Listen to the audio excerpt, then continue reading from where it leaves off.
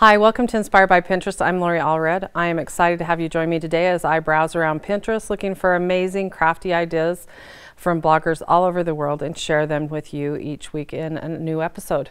So today we're going to be talking about writing on dishes and I am excited because I have seen these all over Pinterest for quite some time and always I've wanted to give it a try. So today I am excited to share a couple of pins real quick before we get into the project.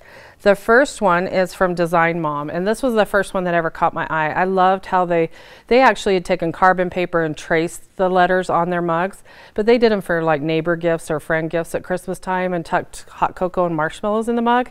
So I thought how cute to make it a personalized gift, and she used a ceramic pen to do that. So I'm going to explain a little bit about the different methods, but my my preference is definitely Sharpie. The next pen, of course, is from a blog that I cannot pronounce. So as always, you can actually go to my blog, allreddesign.net, to get links to any pin that I reference. But I loved how they had taken and written words uh, right on the mug and the dishes right underneath it. And I thought, what a fun party idea or a way to complement different things that you're doing or for a special event. The next one, oh, no more pins. We can get into the project. So, um, of course, I have a whole entire board on Pinterest called Decorative Dishes that show all kinds of fun ideas that you can do with writing on your dishes. As and it's as simple as getting some Sharpies, some dishes that I picked up at the dollar store. These mugs were a dollar from the dollar store. I picked up these plates at my local thrift store for I believe about a dollar. Even this colored one I got at the all a dollar. So first of all, I was totally inspired by a really fun episode that Carol Rice did on Story at Home about prompts and props that you can use to tell stories. But we do a celebration plate at our house. But she had pointed out how often do you have that celebration plate where the per special person never gets to talk. So I love that she'd written questions that the person that it's their special day could answer. You know, you know my favorite colors, what makes me proud, and different things. So I had so much fun doing this. I actually was really worried that I would get to the end and run out of space, but I actually was really um, stretching to fill that space. But I had a lot of fun. Who doesn't remember writing those circle notes in junior high? So I just brought up those mad skills I used to have. And then of course, I love doing this one. This one I actually sketched from a pin I found that had a quote on it about Dr. Seuss. And my son's in Seussical the Musical at his high school. So I thought how appropriate I'd do a Su uh, Dr. Seuss quote on it and just sketch out. I'm not by any means an artist, but I had a lot of fun. But you'll notice how the color is kind of orangey. I actually had used red when I did that. So that's one thing to note. Colors change when they're baked. So the tip to doing these plates is you're going to want to go ahead and draw on them. Do whatever you want. You don't have to prime the surface or anything, but you do bake them. Now there's quite the debate among the pins that I collected on Pinterest. Quite a few of them said to cook at 350 for 30 minutes. That's all they said. But then I read a lot of posts where people were saying it was coming off or scratching. So this one I did. I preheated my oven, stuck it in for 30 minutes, pulled it back out. It looks pretty, but I did notice it was starting to come off a little bit. Not, I think after a couple times in the in the dishwasher, you'll start to see that come off on the edges. So keep that in mind. So then I finally found a pin that said cook it longer. Start it in a cold oven. So put your dishes in. Turn your oven on at 4, I believe it was 450 or 425 for 30 minutes. And then once you hit the 30 minutes, turn the oven off, but leave the dishes in there to cool.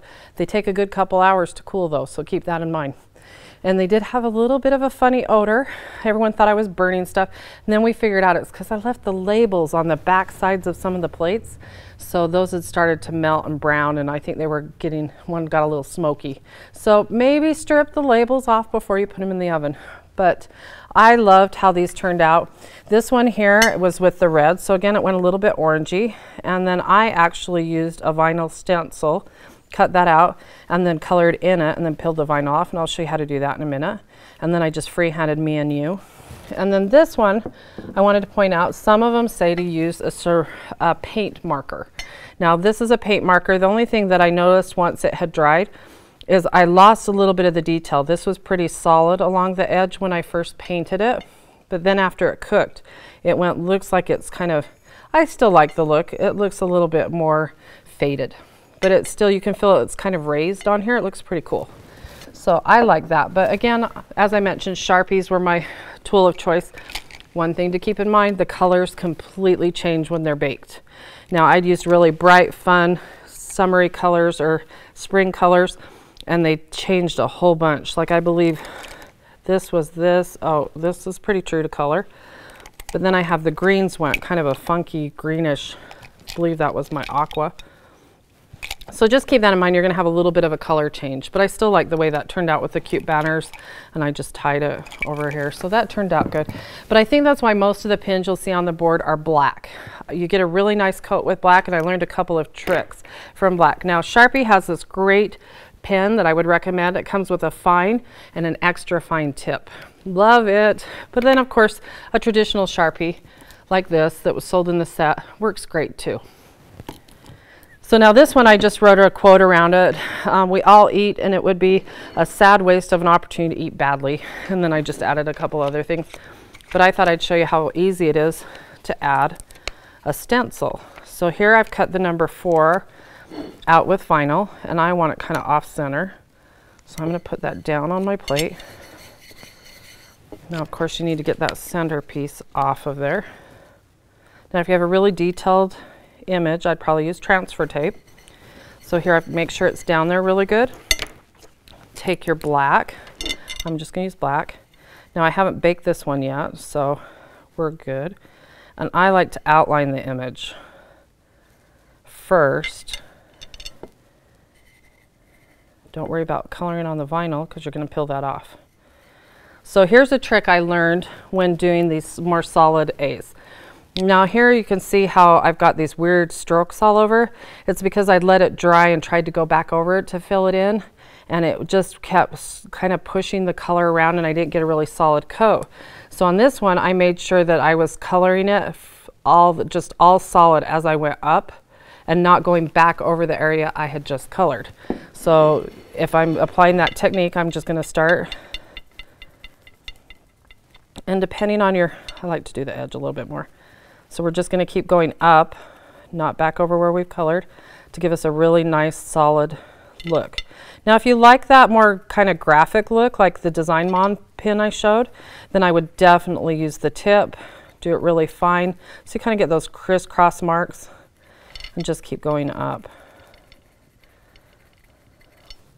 I had a lot of fun creating these at home. My kids came in and they're like, where's our plate? And we used to do those really fun ones that, I think they call them melamine plates, where you could send them away in the mail and they'd ship them back to you sometime before you were an adult. We still have one somewhere. but I thought, how fun would this be for like neighbor gifts, welcome to the neighborhood, um, Merry Christmas, you could create custom plates. So then I'm just gonna take my vinyl